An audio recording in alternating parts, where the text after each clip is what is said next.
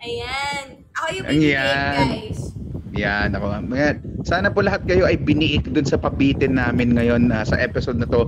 I swear, sa susunod na episodes, hanggang sa mga, ito, uh, next episode and then the next episode after that, yun lang yung masasabi ko guys. As in, i-tweet nyo na, pag-usapan na natin to, kailangan namin marinig yung mga haka-haka ninyo. And syempre, wag niyo pong kakalimutan, i-add nyo sa inyong Kumu account, dun sa profile ninyo, ilagay nyo dun yung hashtag na Kumu Serye, okay? Hashtag Kumu Serye and also hashtag Kumu Serye with Benji. Ayan. Salamat po sa mga nagko-comment. Shout out po sa inyo. Maraming salamat sa mga nagbibigay ng uh, virtual gifts, sa mga nagsasabi ng cute ang Benji. Maraming salamat.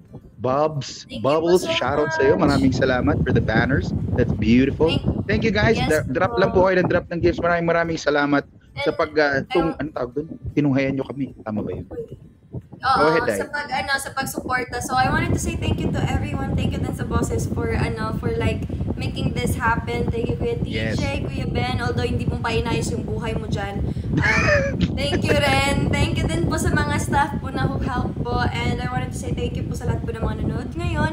Kasi Yes. kung wala din kayo guys, this is, this wouldn't happen. And thank you sa mga That's right. sunshines ko dyan. Sa mga kalumot sa binibiik rin ngayon.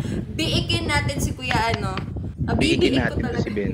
Bibiik ko talaga to si Ben eh. So yun nga po, tulad ng sinabi ni Angie, maraming maraming salamat po sa sa Kumu, sa buong staff po, sa production na bumubuo po ng Kumu series at ating mga writers, sa directors, sa lahat sa buong staff. Thank you so much. Of course, Bilog Nation shoutout. Maraming salamat for being here, mga sunshines ni Angie, mga fans po and supporters ng ating uh, Benedict Ramos. Maraming maraming salamat. Thank you guys so much. We will see you next Monday. We will see you next week. Marami kaming pasabog. Ito, dahil nabitin kayo, siksik ang episode next week at mga susunod pa dyan. My God, abangan nyo guys, nakaka-mind blow talaga. It's so, it's gonna be really fun. I love you G, I love you Ben. Thank you guys for being I here. Maraming salamat. Sige po, bagsak lang kayo. Let's do this!